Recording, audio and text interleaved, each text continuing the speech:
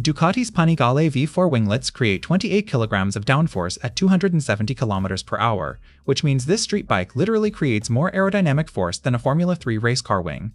These aren't cosmetic add-ons, they're actual MotoGP technology that generates invisible air pressure equivalent to a 62-pound weight slamming down on your front wheel. Here's what breaks everyone's brain. Traditional motorcycle physics says more speed equals more danger, but Ducati engineered the exact opposite.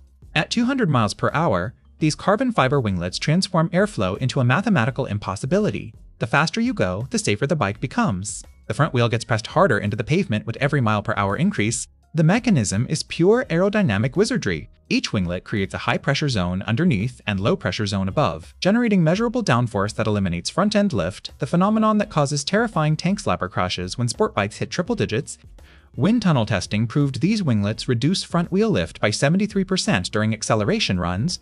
This completely destroys conventional motorcycle wisdom. For decades, riders believed extreme speed meant fighting physics. Ducati made physics your ally instead. Every aerodynamic force that used to work against stability now works for it, turning the deadliest speeds into the most controlled riding experience possible.